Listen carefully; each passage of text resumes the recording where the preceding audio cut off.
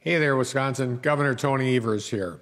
A few weeks ago, I signed the 2021 23 biennial budget.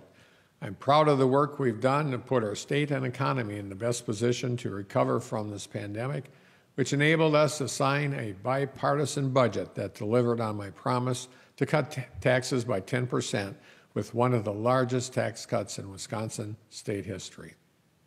But when I signed this budget, I said it left a lot to be desired. I'm proud we've worked these past few years to reverse years of massive cuts to education at every level in our state, but this budget's bare minimum wasn't enough for our kids, not after the year they've had and all the work we'll do together to help make sure they're successful this year. So while I was able to announce more than $100 million in new funding for our kids and our schools in addition to the investments included in the budget, I also called on the legislature in my budget veto message to finish the work they started. And it needs to start with education. That's why today I'm giving Republicans a chance to do the right thing. Through my broad veto authority, I've made sure we had state resources readily available for the legislature to do the right thing and make meaningful investments in our kids and our schools like they should have done in the budget. Late last Friday, Republicans in the legislature quietly indicated they're coming into extraordinary session on Tuesday. That's tomorrow, just to try to override my vetoes. Now, while I'm glad they aren't taking this summer off, it's unfortunate that while Wisconsinites are unified and celebrating a huge win for our state, Republicans are busy trying to play politics and sow division.